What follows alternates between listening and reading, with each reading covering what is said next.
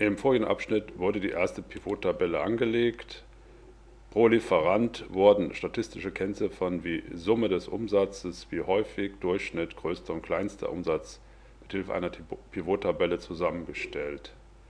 In der zweiten Pivot-Tabelle, die ich auch wieder aus diesem Datenbestand ableiten will, meine Ausgabenliste aus dem Jahr 2004, da möchte ich Lieferant und Brutto eingehen lassen, ebenso der Monat, um über den über die einzelnen Monate dann also auch verfolgen zu können, was hat der einzelne Lieferant dann für einen Umsatz gemacht, in welchem Monat.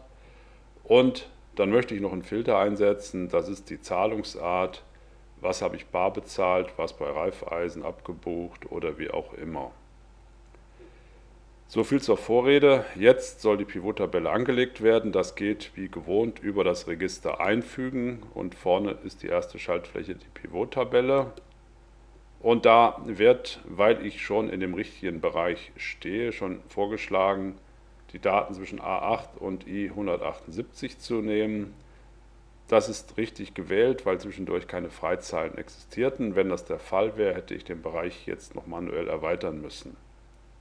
Weil es grundsätzlich sinnvoll ist, Daten und Auswertung zu trennen, lasse ich es auch bei neuem Arbeitsblatt, wo die Pivot-Tabelle dann angelegt werden soll. Klicke auf OK und habe jetzt das neue Arbeitsblatt, Tabelle 1 steht hier unten.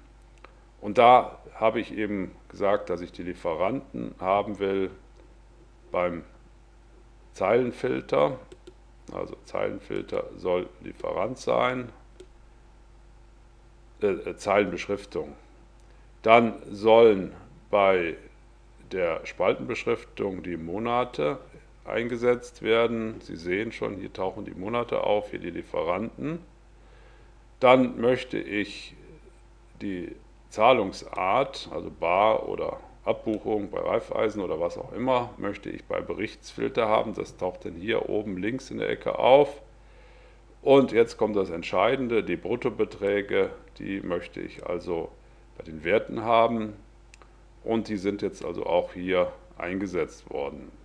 Die Pivot-Tabelle ist fertig, wenn man davon absieht, dass noch nicht sinnvoll formatiert wurde. Wir sehen, hier gibt es zum Beispiel noch, noch Zahlen ohne zwei Nachkommastellen, was ja hier ganz sinnvoll wäre. Dazu drücke ich die rechte Maustaste hier der, in der Tabelle und wähle dort Zahlenformat aus und gebe dort an Währung, aber das Eurozeichen brauche ich nicht. Klicke auf OK und wir sehen, jetzt sind also überall zwei Nachkommastellen eingesetzt. Ich kann, um weitere Einstellungen vorzunehmen, kann ich auch die Pivot-Tabelle Feldliste schließen. Dann sehe ich mehr Daten. Der Aufbau ist im Augenblick so, Zeilenbeschriftungen die Lieferanten, Spaltenbeschriftungen die Monate. Jetzt könnte ich sagen, ich interessiere mich aber nur für das erste Quartal. Dann sehen wir, hier können wir bei der Spaltenbeschriftung alle abwählen und nur die Monate 1, 2 und 3, also das erste Quartal, auswählen. Das bringt uns dann auch zum Gesamtergebnis für das erste Quartal pro Lieferant. Und hier unten haben wir dann die Gesamtsummen für die einzelnen Monate und für das erste Quartal.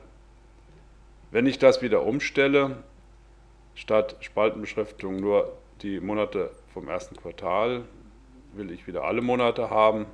Dann sehen wir natürlich rechts unten, wie wir das ja auch schon mal gesehen haben, die Gesamtsumme von 10.247,48 Euro für alle, die sich dann auf diese Monate so verteilt. Das ist jetzt die Tabelle für die Darstellung der Summen in den Monaten. Jetzt möchte ich das Ganze aber prozentual haben. Das geht auch. Dazu kann ich auch wieder die rechte Maustaste drücken und wähle dann die Wertfeldeinstellungen aus. Standardmäßig wird also das angezeigt, Summe vom Brutto in diesem Fall. Aber hier gibt es ein zweites Register, das heißt Werte anzeigen als.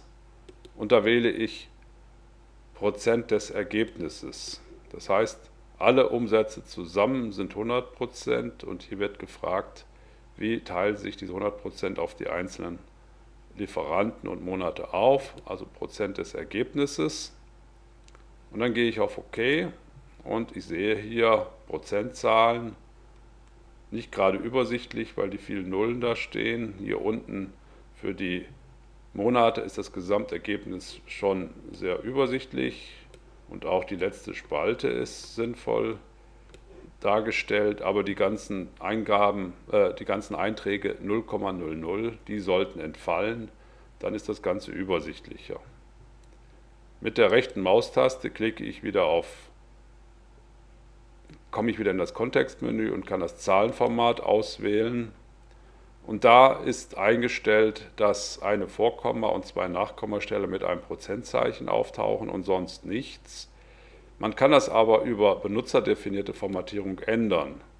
Für die positiven Prozentangaben will ich das so lassen, aber ich habe die Möglichkeit, für negative Prozentzahlen was einzugeben, was nicht vorkommt, oder für den Fall, dass es genau 0 ist. Also drei Wertebereiche kann man da angeben.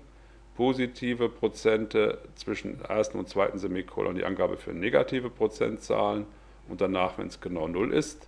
Da ich an diese beiden Stellen nichts hingeschrieben habe, wird auch nichts angezeigt. Ich klicke auf OK und sehe das Erwartete, dass nämlich an vielen Stellen überhaupt nichts steht, wo keine Umsätze im Monat getätigt wurden, ist einfach freigelassen, obwohl da natürlich in der Tabelle weiterhin 0% steht. Das sehen wir, wenn wir da reinklicken. Aber angezeigt wird es eben nicht. So viel zur zweiten Statistik, die dann noch zu beschriften ist.